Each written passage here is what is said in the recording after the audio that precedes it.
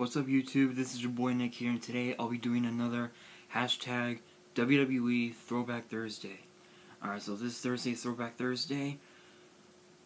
We all know that at WrestleMania 3, um, there, there, there was a record for the most fans attended at a WrestleMania. Of course, WrestleMania 3 record was 90, 93,173.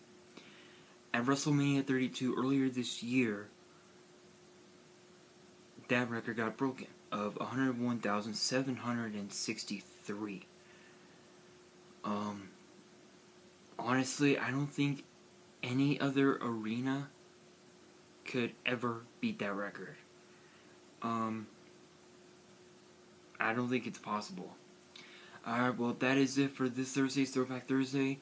Um, if you enjoyed this video, please post, comment below, like and subscribe for more.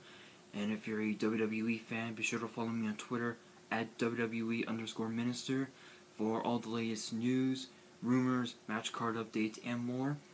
And if you're a and if you're a Yu-Gi-Oh fan, be sure to follow me on Twitter at Yu-Gi-Oh Player 96 for future openings, deck profiles, binder updates, epic pulls, news, and more.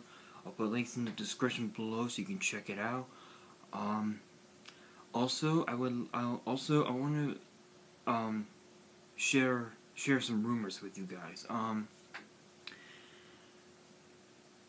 um, as you guys know, if you guys had not watched SmackDown Live this past Tuesday, um, Shane McMahon told the world that this altercation with him and with him and Brock Lesnar will not be over. Um, she, um, the WWE did fine Brock Lesnar 500 bucks, 500 dollars for uh, for what he did at, at SummerSlam. Um, I don't honestly, honestly, I don't, I don't think that's fair. Literally, I just don't think that. Um,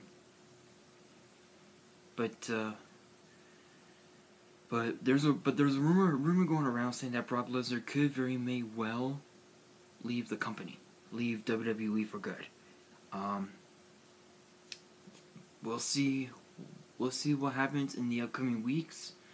Um, on that, this is your boy Nick here, signing off.